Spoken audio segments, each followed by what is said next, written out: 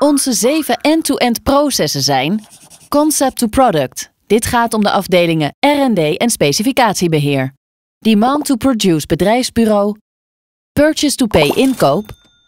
Produce to Supply productie. Order to Cash verkoop en logistiek. Finance to Manage finance en control. En Hire to Retire HR. Om uiteindelijk tot een goed ontwerp te komen voor het nieuwe systeem zijn vooraf een aantal kaders vastgesteld. Als eerste ons operating model. Dat is de manier waarop wij vandaag de dag onze business hebben ingericht.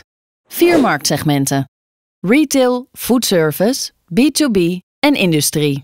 Zes bedrijfsmerken: Van Loon Son, Meat Friends, Brandenburg, Co, Best Star Meat, Verheijvlees. Drie bedrijfstypen: sales, operations en grondstoffen verdeeld over 10 locaties.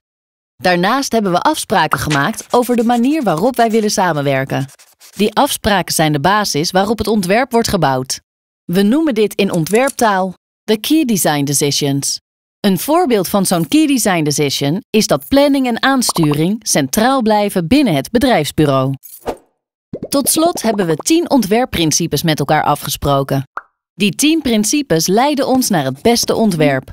Drie voorbeelden van zo'n principe: keep it simple, verbetering, lenigheid.